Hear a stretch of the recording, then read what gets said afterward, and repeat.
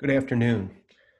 I'm sure that many of you are aware that Governor Wolf closed all public schools through the end of the 2019 20 academic year. Like you, I'm saddened by this announcement. As Governor Wolf said in his message, schools are so much more than just teaching and learning, especially in Garnet Valley. They are the heart of this community, bringing students and adults alike together for our social and emotional well being. This terrible virus can't take that aspect away from us, and we will continue to work together to meet the needs of our school community.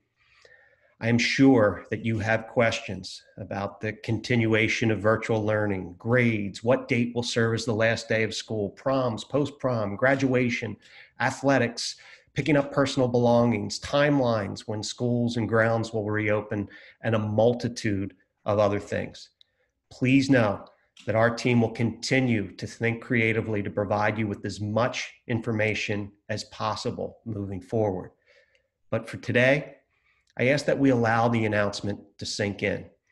Use the next few days to accept that these circumstances are out of all of our control and get ready to make the best of our new reality in a way that reflects the safe and caring heart of this community.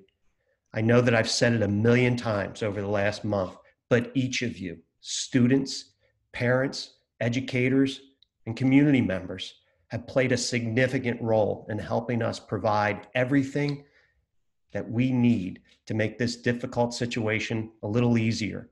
And on behalf of the entire district, thank you for all that you're doing. I know that it's a lot. Take good care, and I'll be in touch soon.